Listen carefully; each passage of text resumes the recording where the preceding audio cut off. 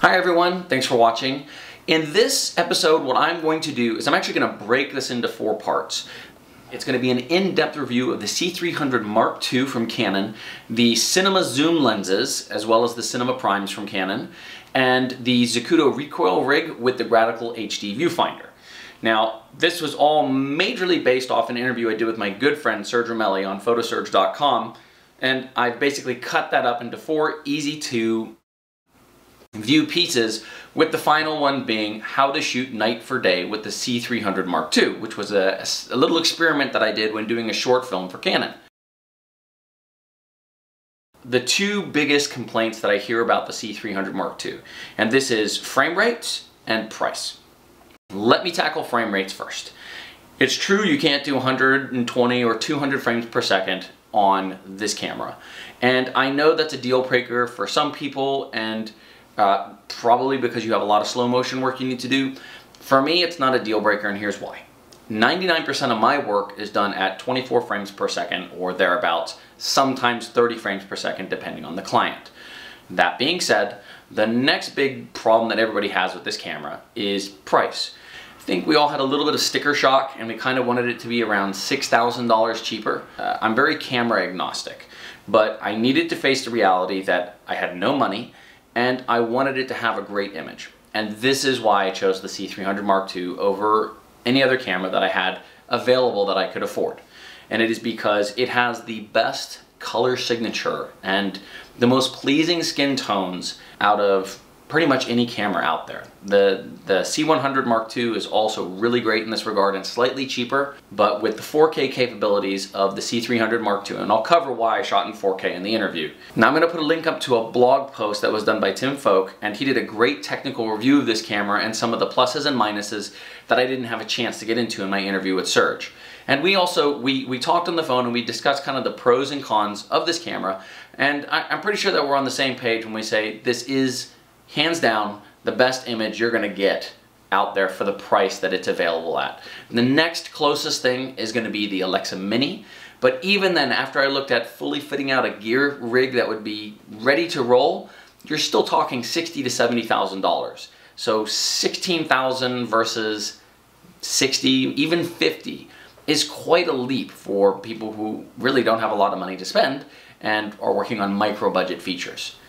So the final thing I want to mention before jumping into the interview is there were two mistakes that I made using this camera. And the first one was a really rookie mistake on my part and just in my franticness I overlooked this, which is when I was looking through the Zacuto viewfinder, I was looking at scopes that were reading the, the IRE off of the LUT that was coming in. And that was a boo-boo on my part. I should have been checking the actual log waveform that was coming off of the C300 Mark II, which you can just access with the click of a button.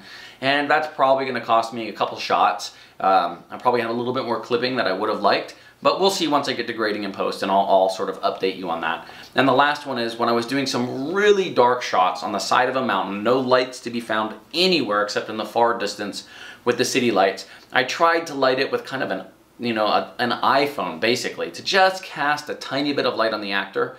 And just looking at the ungraded shots, there's a little bit more grain than I would have hoped for. And I think most of that's going to come out with a degraining pass. I'll see what happens when I actually put the final LUTs on and post and all that to see what it really looks like. But my advice would be, if you want to do crazy nighttime shooting, raise the ISO up a little bit, overexpose it, and darken it in post. And I think that's about it. In summary, I cannot wait to buy my own C300 Mark II. This really is an amazing camera. For all of you who are on the fence between going Sony FS7, Canon C300 Mark II, or saving up to buy the Arri Mini, well, let me just say the Arri Mini is a lot more expensive setup than what you're thinking, but you know, if you can afford it, more power to you because it's got some awesome frame rates and it's Arri. The Sony FS7 does have more bang for your buck in terms of technical specs, but ultimately the deciding factor should always be the image. And I think that for the purposes of a film that is more dramatically based or has a lot more focus on the actors as opposed to environments and stuff like that, you always want to look at what has the most pleasing skin tones and what is like the most flattering image overall. And for me, there was no comparison. So hands down, I'm recommending this camera to all my friends who are doing indie filmmaking projects because there really is no better image for the price value out there. Even if it stings a little bit with that extra $6,000, the truth is with all the bells and whistles that come with it, it's absolutely worth it. So with all that preamble, here's the interview and uh, I hope you enjoy. Bonjour mesdames et messieurs, my name is Serge Ramelli. I am a French photographer living in Paris and also living in Los Angeles, a very sunny city. I'm here with my friend Dare from Dare Cinema and um, we've been working together on, uh, on making movies. This channel is usually about photography, but today I want to talk to you about uh, a movie we just made and I want to talk to you about a sponsorship we had from Canon that really helped us make the movie with some of the most awesome gear there is out there to do movies. Right there? Oh, it was incredible. This is definitely the camera I have been waiting my entire career for. A lot of times you, you know, when you're on a big budget production, really cameras is it's not a big it's not a big line item. You know, it doesn't matter if your camera package is going to cost ten thousand dollars or two hundred and fifty thousand dollars. It come down it comes down to the choice that the director and the cinematographer want to make stylistically. But when you're doing low budget, no budget work, um, I know over since the DSLR revolution that Canon started, you know, back with Vincent Laforet and Reverie and all that, hmm. a lot of independent filmmakers and and photographers uh, have been you know, everybody wants the holy grail of cameras, right. which, you know, you know, it would be like 20 stops of dynamic range, 10K, mm. uh, 500 frames per second. You know, everybody wants that for less than $800. but, uh, which is hard. but the cameras have been getting better and better. As I was talking to guys in Canon France, they're explaining me that yes, it's called a C300 Mark II, but because of the sensor and the quality of the dynamic range, it's a whole new world. Do you confirm? Oh, absolutely, not even a question. And um, you know, I can only speak to kind of my peers in this regard because a lot of times, well, over the since they announced the C300 Mark II, I mean, I had really high hopes for this camera. I just I love the Canon image. It's just you know I don't want to say and and Arri also has a, fa- a fantastic oh, image. Yeah. I've shot on Arris, I've shot on Reds, you know, and I've shot on Sony's. Canon and Arri have the nicest natural look on skin tones. It just is what it is. But the Arri just has so much more that comes with it. Mm. And to get this package and to be able to get an image that you get with it is was phenomenal to me. I just it, I, I have no need to go looking for another camera. Yeah, so I don't even know how to use this camera. Like, okay, let's say that I'm just opening it up out of the box. I just rented the camera and I want to make a movie. How do you how do you get started with it? Okay, so first off, when you look at this right now, um, what you're seeing is the Zacuto recoil rig on it.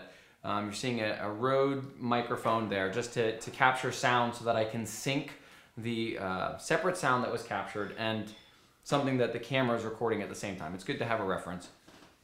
But other than that, is this, got, this that... comes with the this this top part is a monitor that that comes with it and uh, you can buy like a little eyepiece that can that can go on this, that so you could use this as a viewfinder. Right. Um, but that's it doesn't really that's not the greatest configuration for it. It also has a viewfinder here on the back, mm. um, and they're both clean. They're they're good, but the basic camera package, you pull it out of the box, you're going to have the body, not a lens. You're going to have this on top, which is the, you know, you control it and all that. And and that's basically it. Okay. And it can seem some people can be oh god it's you know it might look a little bit technical but basically you just need to turn on the power over here. There's a little on switch over here. Right. it's got camera off and media. Okay. You put it on camera um, you what what is media? Media so you can play back the shots that oh media you know, is like playback okay. Yes you can you can play back the shots that you were recording.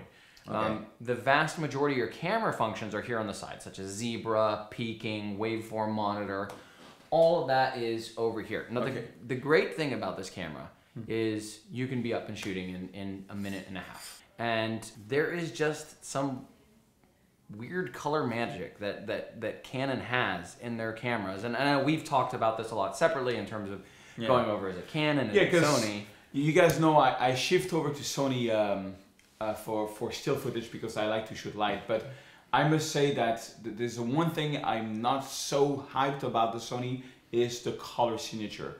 I love what Canon is doing. I love the fact that Sony 7R has got such a dynamic range and that it's very light and I travel a lot, I hike a lot to make landscape photos.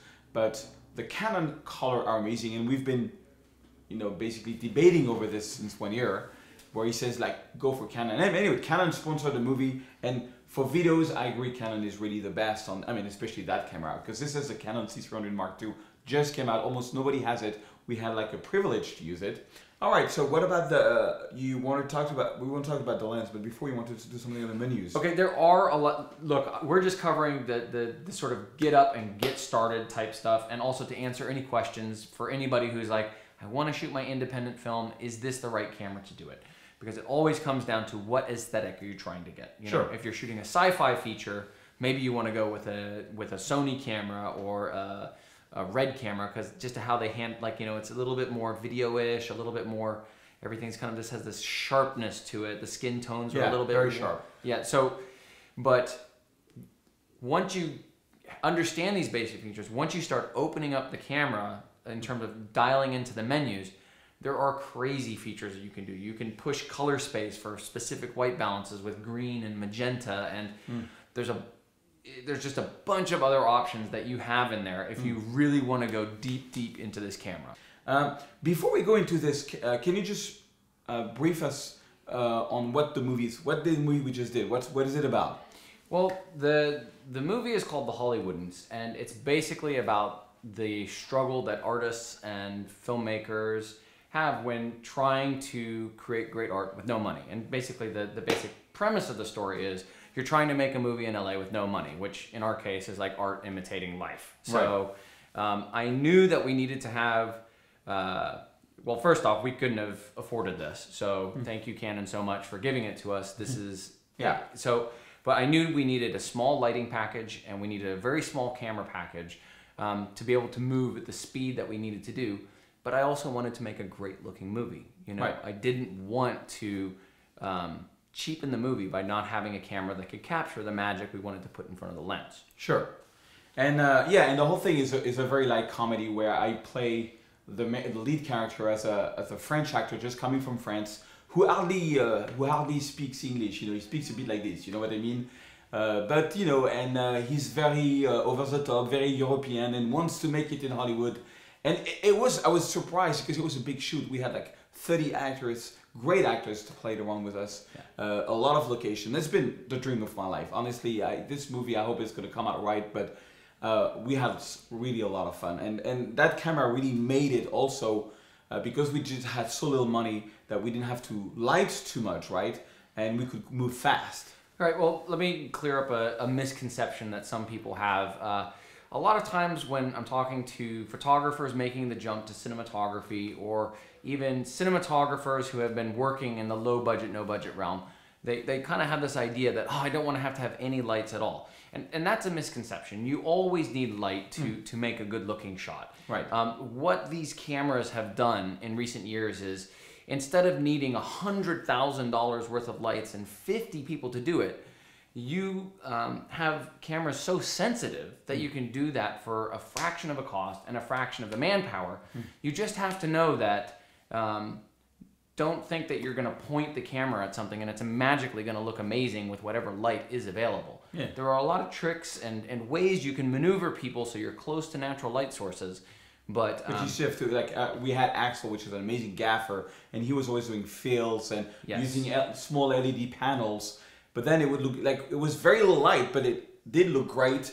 And uh, you know because also the the, the Yes. ambience feel was great with that camera because of the dynamic range, right? Yeah, I mean, there were some night shots where we literally could light it with an LED panel that's smaller than an iPhone and get the exact light we needed. And, and this gets into also the the the the ISO and the sensitivity, which I guess we can take those up each as their Yeah, sure. individual subjects later. But um, Yeah. Okay, so how do we get started with this camera?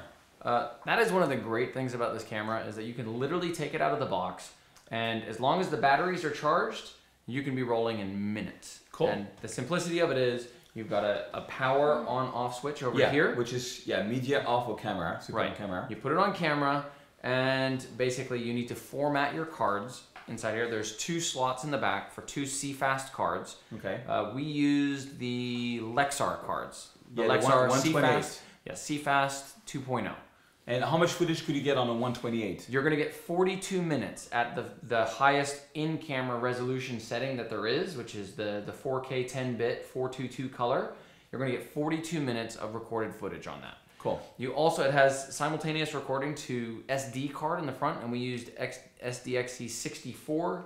Uh, and you have 530 minutes on a properly Wh- formatted card, Which is for proxies. and that gives you. But it's full 2K. Yeah. It's full. So what proxies, proxies. is, let me just explain what proxies is in case you don't know. Proxies is basically like full 2K or full HD, a bit more than full HD. Very good footage that you actually use to do your editing. And then, because it's really hard to edit 4K, and then once your editing is nice, then you can just synchronize it and it just does the 4K magic. So we only look basically at the proxies on a daily basis. Right. It's just Uh, much lighter, much easier. Right. So the the next thing you need to do is you need to set your camera settings. Are you shooting PAL 25 frames per second? Are you shooting 23.976? Are you shooting 30 frames per second? We're here in the US um, and I shot this at 23.976. It also has an option to shoot at true 24 frames per second, which some people might want to do, but 23.976 was the choice for this. Um, and uh, while we're on it, uh, I, I would just mention that is that uh, you know I read a lot on the internet. I'm in the forums. I'm watching the other people doing their videos on this, and and one of the big points that everybody's complaining about on this camera is the lack of frame rates. You know, because it's at 4K, they would expect minimally 60 frames per second or 120 frames per second For slow motion. for slow motion. And for whatever reason, that's I've never had a consideration on that at all. And and the reason why is if I'm gonna do slow motion and I need slow motion for a commercial or whatever, I'm gonna go rent a slow motion camera. Right. You know what I mean? Because even if you look at some of the other cameras, such as the Sony FS7 and the other ones that have high frame rates, the slow motion isn't as clean and noiseless as what you can get on the cameras that are dedicated slow motion cameras. Right. And how many slow motion shots did I have in the 21 days of shooting that we had? I had one. That was it. You know what I mean? So it's when you look Yeah, it's not it's not a deal, deal breaker. it's not a deal breaker, but some people think it is, and, and you just have to think with this is a tool to tell a narrative story. right. You know what I mean? For for filmmakers, for document you know documentary makers, um, uh, this this camera. I mean, we talked about it back in April. I was like, I, I you know maybe there's some way we can get our hands on this camera Right. because the image is so good. I mean, you really you know we'll we'll show some clips here behind so you can Sure. see it. Yeah, I know. We were very excited with the image quality. I mean, I had never seen something like this, so it, it's really good because this is a fifteen thousand dollars camera. It's not like some of the very high end Arris camera, which I believe are between fifty or eighty thousand dollars. And this is a fifteen thousand dollar camera. You can rent this for four hundred dollars a week. It's you know for independent movie making, it's within reach. You know, Yeah. and it's and it's like the quality is really uh, It's great. It's fantastic, and it, it's if you had said, "Look, let's rent an Arri for this film," I would have said no, and the reason why I would have said no is because you need more people to do it. Yeah. You can't just you can't you, you know you need to be tethered to a DIT station that's set up so you can watch things back, and it's a Yeah. bigger camera and. This just again getting back to the point of you can pick it up and you can start shooting and you can start capturing amazing images. And I'm not speaking now from a point of promoting Canon. I'm speaking now from the point as a filmmaker. Hmm. Yeah, that that is- was your dream camera. You you've been talking to me for months, and I, I asked Canon if they would help us in the movie, and they did, and we, you were blown away. I remember. And Yes. No, no, Okay. no question. So, right, back to you, you want to set your frame rate. Yes. And if you're PAL, it's 25. If you're in the US, it's 23976 or whatever you want.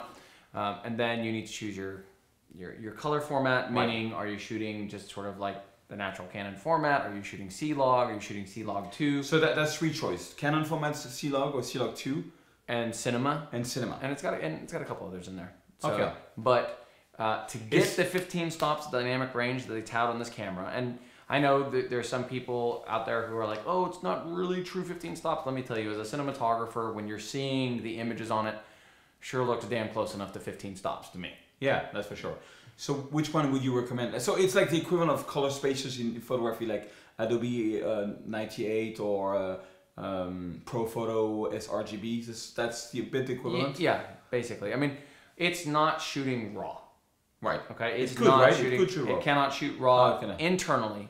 With an external recorder, you can shoot raw. But then it gets But again, you're starting to add things onto the camera, and you know, what's the beauty of this camera? You can make an amazing film with what comes out of the box. Yeah. That's so we shot cinema mode. Right, Okay. okay. Because that's That's you know Canon says you want the most dynamic range, you need to shoot in cinema mode. Okay. Yeah, and we were shooting about four uh, C fast card per day, which is roughly 500 gigabytes per day. Half.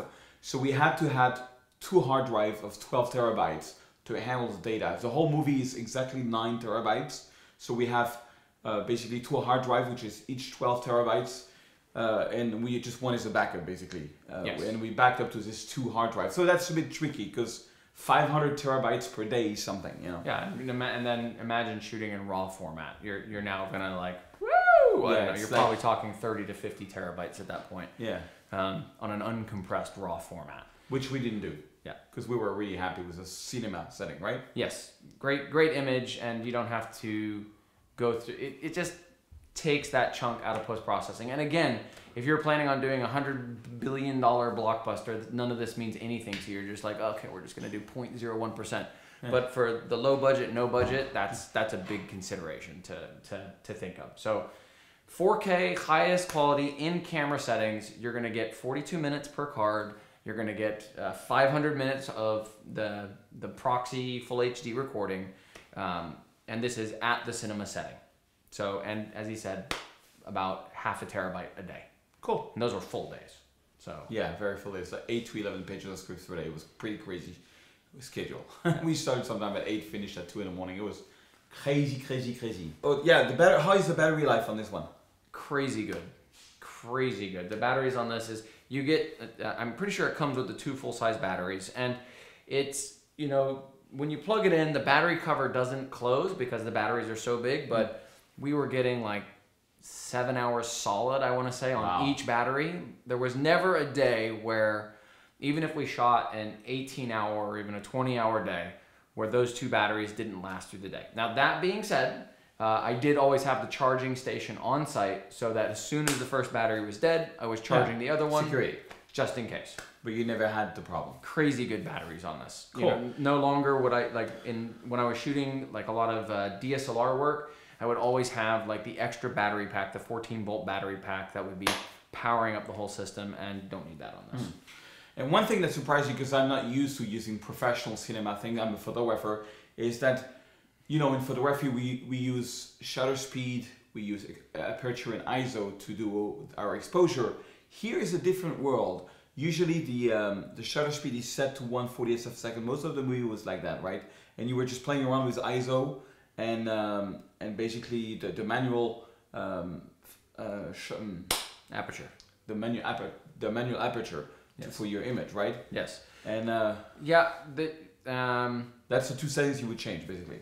Basically on the lenses that we used, we have manual uh, aperture settings, manual focus, and manual zoom. Now, if you're using an L series lens, you control the aperture right back here. There's a wheel down here on the side, and similar to how you control it on your DSLR camera, you just spin that wheel and it will uh, change your aperture. Okay, but not on manual lens. You have to do it here. Manual lens, you have to do it here. And Okay. with the can, I'll just mention this quickly while we're on it. With the Canons, uh, the camera actually records the the data of what was your focal length, what was your aperture setting, Yeah, uh, which is really cool. data. Yeah, it really. It's so that's that's kind of a cool thing about the camera, Even with the manual lenses, even with the manual. Lens. which is not always the case in the DSLR DSLR world. We don't always get the EXIF data when we shoot with manual lenses, so that's cool. Okay, and what about uh, ISO? So ISO, um, this camera in it, I believe it has an extended mode which goes up to hundred thousand ISO, which is ridiculous. Um, but just as it is out of the box, it goes from I think it's 160 all the way up to 25,600. Okay, so let's watch. Some, here we have some night shots going on. Uh, so what was the max ISO that you went up to? Do you remember? I anytime I needed to push the ISO, I very rarely pushed it over 1250. Wow. Sometimes I went up to 2000 because even though the noise handling is good, anytime you start going above uh, native ISO, you are going to have noise, whether it's detectable by the human eye or not. So the native ISO on this camera is 800 ISO. Um, I'm really happy that it goes down to uh, one, maybe even goes down to 100. I don't remember, but for sure 160. 160. I think in the extended mode it goes down to 100. Yeah, So- that, so that's something that's surprising to photographers because uh, the native uh, ISO for Nikon camera is 200 ISO and for Canon camera is 100 ISO. But for movie cameras, it's different. This is 800 ISO is a native. That's the best settings. So when they go to 160, they're sort of doing some electronic things to make it Less make sensitive. less sensitive. Okay. Yeah, and um, so we're talking about going up on the high end of ISO right now, and um, I did do some shots at 2000 ISO, and um, you know, and I could see the noise starting to come in. You know, it's, it's Yeah. pleasing noise, not not like radical. It's something I know I can run through a, a really quick denoiser and get rid of it, but you know, it's it's Not still my, my my sorry, not Miami Vice noise from uh, that movie because okay. We that. love Michael Mann. Okay. Um, no, but you, you make a good point because if you look at what digital cam- cinema cameras were, like if you look at Collateral, Yeah. um, I think that was shot on the Viper Stream, but this is one of the first cameras. It's crazy how noisy that. It still looks incredible. I love. It. Yeah, but there was a lot of noise. It's crazy noise. on, on the big screen, there's a lot of noise. it's crazy, and, you know, this one you think is has less noise than that. not, it's not even it's not even a question. That's so funny how this has progressed over the last years. It's amazing. So we're talking about ISO. Okay. So on the- you know when you don't have enough light, that's just one problem. Okay, Okay. and that's solved by boosting up the ISO to where you want it. Also, you can um, you know you can go down the cinema zooms go down to 2.8. At least these are the compact zooms, I believe. They go down to 2.8, which is which is really great. Um, and then sometimes, which we're going to show you on some of these night shots, what I like to do is I like to use The prime. 1.2 85 millimeter. It gives you I don't. It's to me, it's magic. The, the look that you can get, the bokeh in the background, um, and this is where you really start to see the power of a prime versus a zoom because they're the difference between 1.2 and And 2.8 is phenomenal. It's and it's not just in the way it handles the highlights in the background. It's the way that the light wraps around the skin. The, the, the you know Yeah. because not everything is super sharp. Right. You know it. It, I love it- the look, yeah. It gives an almost angelic beauty to, to some of these. So we'll show you some of that footage. Um, now here's the other side of the ISO problem. Uh, you're going to go outside and suddenly, uh, if you want to shoot at anything below f8 and you're even at ISO 160, it's too bright. And this has two, four, six stops of ND built in with That's these two amazing. little these two little buttons here on the side. Yeah. You just go plus, minus, minus, and I believe in extended mode it even has 10 stops. Wow. So That's amazing because I keep putting ND filters on you know, to get long exposures in photography, or if you want to make videos and you know, and you have too much light. And here it's in the camera, which is really cool. And, and that is one, without a doubt, one of the greatest features of this camera because I like to shoot, you know, between f4 and and two, like Yeah. above, unless I have a shot where I really want Everything in focus. everything in focus. You know what I mean? But the point of depth of field and focus is to tell the audience what's important in Yeah. the scene. Where should they be looking? And when you're doing landscapes, that's just part of the language of the movie. So you, you want everything in focus. You want Right. them to be able to to do that, and you use color to pick out certain things that you want. So having the built-in ND filters, you can just bam, bam, bam, just just rapidly Yeah. go up to whatever you need. So you're you can like be shooting almost directly at the sun, and you're good to go. Cool. So that's ISO and kind of the range and how we shot that. Cool.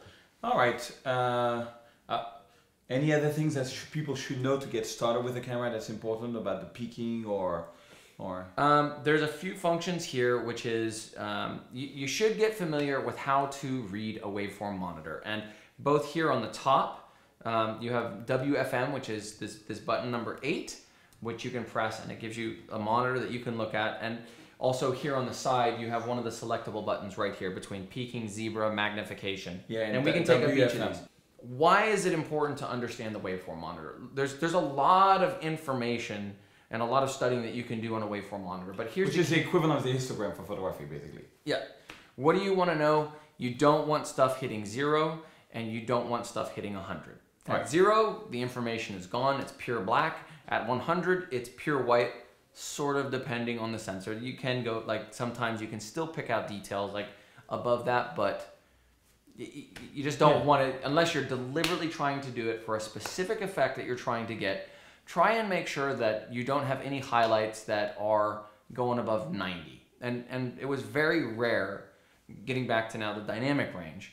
Um, this is where you, the, you start to see the camera shine because you're looking at the waveform monitor and you're seeing the face and you see this bright white background and, and shooting DSLR before you might be like there's nothing there. And then you focus on the background and you still have all these subtle variations in color.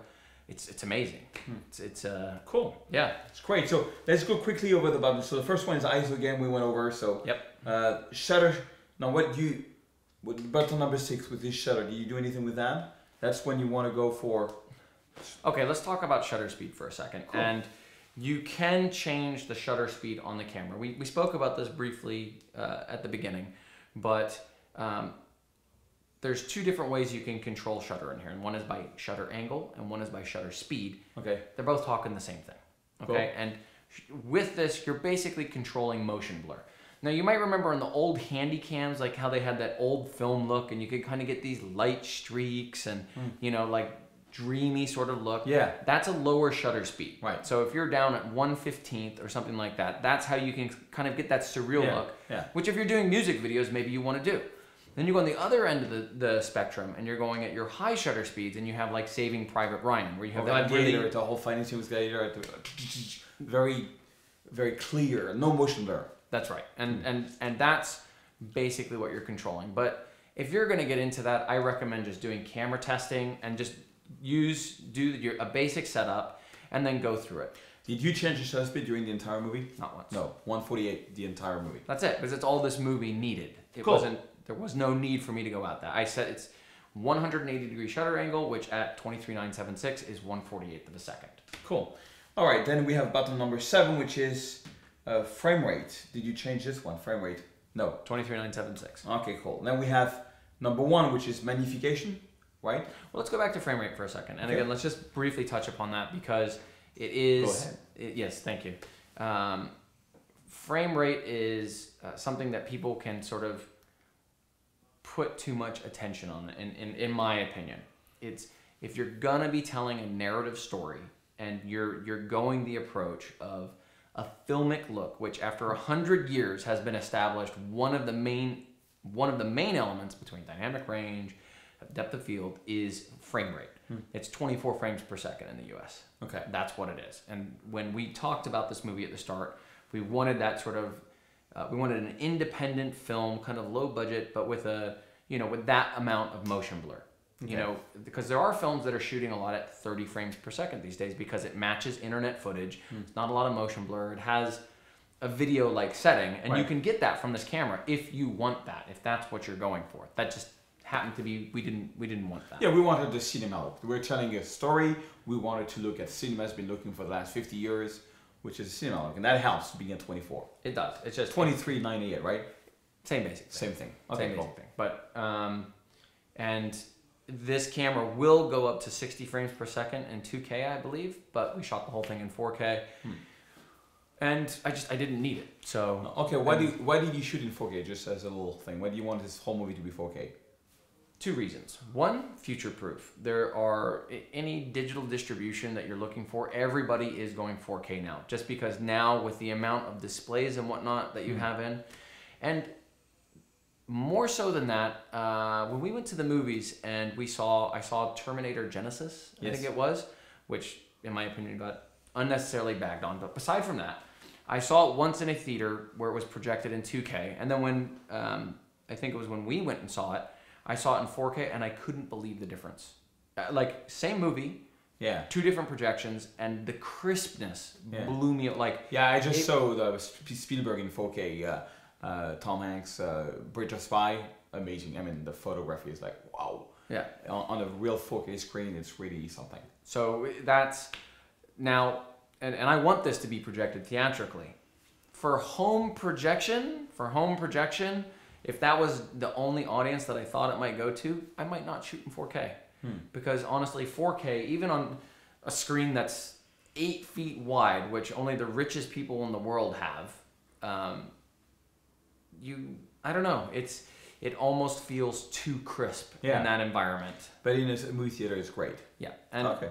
the other reason is um, it gives me latitude in post to punch in a little bit, and Yeah, this is something that like a lot of people, you know, people are shooting on 8K. Why? Because they can shoot a master and they can practically punch in on a close up in that same master. Yeah. Now you really have to be spot on in your focus if you want to do that. because Yeah. you know otherwise if you're soft and you punch in, it's just going to look bad soft as well. So, but that's why 4K. Okay, cool. So let's carry on.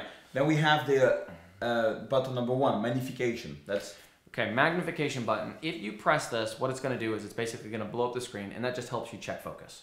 You'll see it in the viewfinder, or if you have a plugged-in um, viewfinder like this, it, you can do it there. cool. Uh, peaking, number two.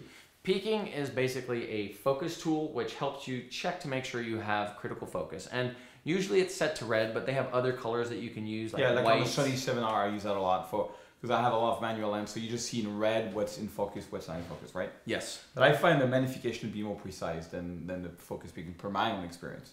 I don't usually rely on peaking unless I'm shooting down at 1.2. Okay. And at which point, because sometimes it can just be distracting, and really, you know, if you have if you've correctly set your viewfinder and it's it's matched to you know you, how your eye sees, then you're gonna see if it's crisp or not. Cool. So the next one is zebra. What is Right. zebra? I know the animal. Yes, no, Zebra, for those of you who don't know, is basically a tool that many video cameras have to help you see which areas of the image are either overexposed or approaching overexposure. So when you press it, you get this little Yes. strikes. Oh, and it tells you which is. So it doesn't mean it's necessarily overexposed. It's getting close to be overexposed. Yes, and and you can change what it means. Like um, I kind of uh, had it set to 80. So any parts of the image that you know we talked about earlier about in the waveform. Oh, that's over eighty percent of exposure. roughly speaking. Um, Cool. And uh, so it just helps you quickly see that. I don't. I don't keep it on. It's more of just a quick check, but really with the waveform monitor, I rarely ever need it. Cool. You know, but it's just there as like a. Let's say you're following someone around, it can just show you which areas might be pro- uh, brighter than others. Okay, and I guess about the next one is WFM, which stands for waveform. I guess button number four. Yes. That's what you talked about earlier. Yes. So you just press it. You see the waveform, which is a like a real-time histogram, and you know making sure your blacks is not crashed, your white is not crashed, and but because it's got so much dynamic range, that baby we hardly had ever the trouble. No. That's what's crazy about it. Yeah. Okay, great. Moving on. Start and stop. I guess starts and stop the, the recording. Uh, white balance. I see white balance here. Okay, so there are a few different white balance modes you have. Um, you have sort of, you know, and, and if you're shooting a lot on DSLR cameras, you know, you've got, sometimes you have like shade, portrait, uh, n- Yeah. underwater, you know, on the moon, you know, intergalactic. You have like a hundred different settings. And on here, you kind of have uh, incandescent or tungsten. Yeah. Uh, you have daylight. Okay. And then you have an A and a B to set custom white balances, Hmm. and then you have direct control over the Kelvin setting. Um, and I know um, for photographers, sometimes trying to make the jump to video shooting, Hmm. and and again realize this isn't shooting raw. So if you're shooting raw, white balance can be fixed in post whenever you want. Yeah. But when you're when you're shooting this, you're setting your white balance at the start, and you just kind of you want the colors to look natural in the scene, unless you're going for a really warm look, in which case you can kind of bump it up that way. But my, So- my philosophy is try to get as close to, to what you're actually perceiving, uh, so where whites are white, and do the rest in post. Whites and whites and rest and post. Yeah. That has been my biggest difficulty as a video maker of coming from the raw world where I don't care at all about the white balance. I change it in Lightroom. Here, you have to be very careful because if you're too warm, yes, you can add blue uh, in, you know, in, af- in color corrections, but it's gonna be tricky. It's go- if if you took the wrong white balance, and especially when you do like mastering close up and close up, make sure the white balance uh, matches. Yeah. So were you using the Kelvin settings the most of the times or the pre-settings? If I was outside, um, I would kind of start at daylight, and if it looked good, if it looked how I wanted, I would leave it on daylight. Okay. But 90% of the shoot, I would use the Kelvin setting and just set my temperature. Um, you can, it has the, it has auto white balance too, which I never use that, never, just because a shadow goes over and suddenly the scene looks completely different. Right. Um, but you can also get a gray card or a white card and you put it in front so it fills the screen and you choose to set the white balance. Oh, which is that next button? What? No. It, it's on. It's on. There's two buttons to basically Yeah. cycle through the wet, the white balance functions over there. cool. Um, Well, that's pretty much it. I mean, then then you got two wheels. What are the two wheels for? these are just wheels that you can use to navigate through the different functions. Uh, and um, like I said, when you're putting a a DSLR L series lens on here, that bottom wheel is already geared to controlling the aperture. Cool. Um, but like, let's say when you select ISO, you need to scroll Oh. through 100. You use the wheel to scroll through it. It's great. So it's very easy to use. Yes, and those are kind of the the buttons that you see on here. There's a few other things, um, like you have a, a mic. You can plug a mic directly into here. Okay. Um, you have this this stand here, which has two XLR inputs for mic, and this is great. And um, you know, is, it's, is that is that within that's with the camera? this comes with the camera. Oh, the XLR is with the camera. That's great. So you That's can right. get And it just goes into the hot shoe mount right on the top. Um, it's got these two cables, which are fantastic now that you can disconnect them. And the C300 before, it was fixed and it was, you know, you, Hmm. it, you know, it was not the greatest design choice. And they've, they've really done a lot to fix this up. Is there a lot of difference between this buttons, the it's on? Because I know you shot a lot with the old C C300 Mark One or. If you have shot with the C300 Mark One or the C100 or the C500, you're going to pick up and know how to use this camera. There's the only thing you will need to do is go into the menus and make sure that you're putting it on Cinema Log or C Log 2 or you know, but that's it's Cool. pretty much it's just it's a much better codec. It's a much better, more robust um, capture format.